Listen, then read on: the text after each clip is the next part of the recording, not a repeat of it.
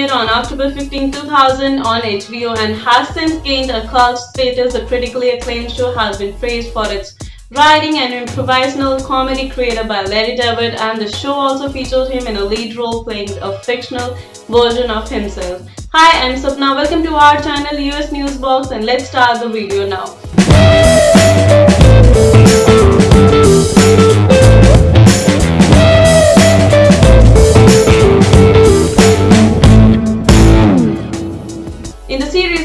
Is a television writer and producer at the brink of retirement. The series primarily centers on his misadventures related to the work and his social life, which put him in incredibly awkward and funny situations. Curb Your Enthusiasm Season 10 landed on January 19, 2020 on HBO with the season finale airing on March 22, 2020. Season 10 includes 10 episodes with a running time of 26 to 58 minutes each.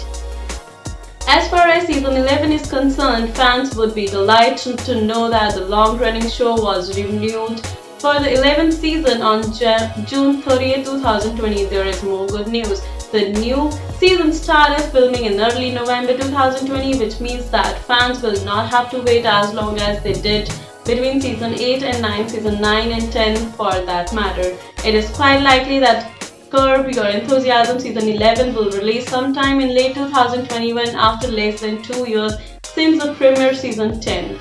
All the main cast are expected to return in the Season 11 which includes the legendary Larry David, Cheryl Hines played Larry's wife as later ex-wife Cheryl David.